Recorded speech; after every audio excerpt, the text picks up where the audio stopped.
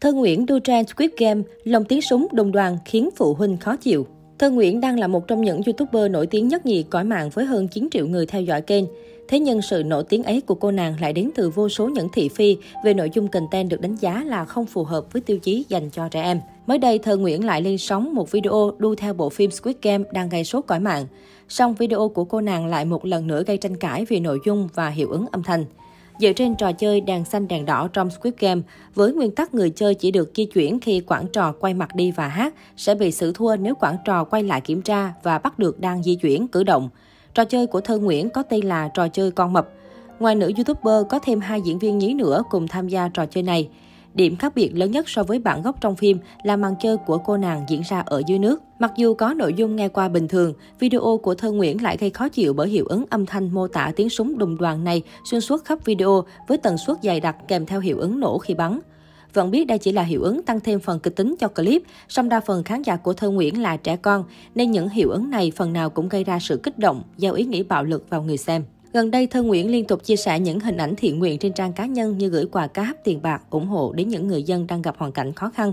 Khi công khai câu chuyện từ thiện đến mọi người, Thơ Nguyễn được một cư dân mạng vào nhắc nhở là nên cẩn thận và kiến đáo với những công việc đang làm, vì không cẩn thận lại bị một nhân vật nào đó lên án thì rất họa vào thân. Thân Nguyễn đã lập tức có những phản hồi, cô viết, làm việc tốt khoe để lan tỏa thôi mà cũng ý kiến nữa. Xin phép anh chị cho em không kiến cãi được không?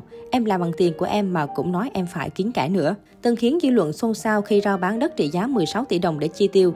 Nữ đại gia bất động sản Đắk Nông Thơ Nguyễn mạnh dạn tiết lộ còn 10 quyển sổ đỏ khác và không thể thống kê nổi số tài sản mình đang sở hữu. Nữ YouTuber hứa hẹn rằng ai giới thiệu được người mua đất cho cô nàng sẽ gửi ngay 1% giá trị lô đất, tức 160 triệu đồng. Cách đây không lâu, Thơ Nguyễn bất ngờ đăng tải một đoạn status dài trên trang cá nhân nhờ mọi người giải đáp khi có một vài netizen bóc phốt cô tính toán sai tiền hoa hồng.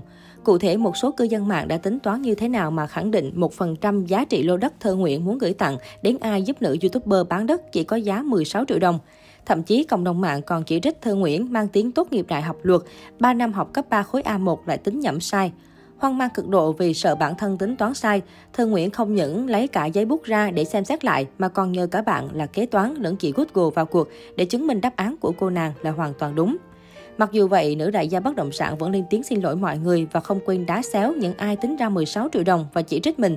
Thơ Nguyễn chia sẻ, chắc tại số tiền to quá, em chưa bao giờ cầm trong tay 16 tỷ đồng hết nên không đếm được, em nghèo quá mà. Phản ứng của Thơ Nguyễn khiến dân tình cho rằng cô nàng đã xéo sắc lên nhiều sau thời gian ở ẩn. Thời gian trước, cả cõi mạng xôn xao với đoạn clip xin ví học giỏi từ Thơ Nguyễn. Sau khi vụ việc nhận về nhiều chỉ trích, cô nàng đã lên tiếng tạm biệt YouTube, ẩn hết toàn bộ video trên kênh. Nhưng chỉ một thời gian sau lại quay trở lại rầm rộ với mục tiêu sẽ giành được nút kim cương của nền tảng này, 10 triệu người đăng ký kênh. Mặc kệ việc bị tẩy chay, kênh YouTube của Thơ Nguyễn vẫn tăng trưởng follower chóng mặt, lượt view vẫn hàng trăm nghìn, thậm chí hàng triệu ở các video mới đăng tải, khiến nhiều người phẫn nộ.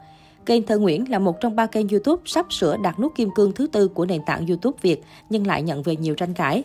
Thậm chí cô nàng thị phi này còn có số follower ngang ngửa với nam ca sĩ Sơn Tùng MTV. Tuy nhiên, theo thống kê từ Social Black, kênh Thơ Nguyễn hiện đang phát triển subscriber tương đối chậm, nhưng lượt view thì vẫn tăng đều và thậm chí còn nhỉnh hơn Sơn Tùng về số view. Trái lại, số người đăng ký kênh thì lại cực kỳ nhỏ giọt, khó lòng mà đuổi kịp Sơn Tùng.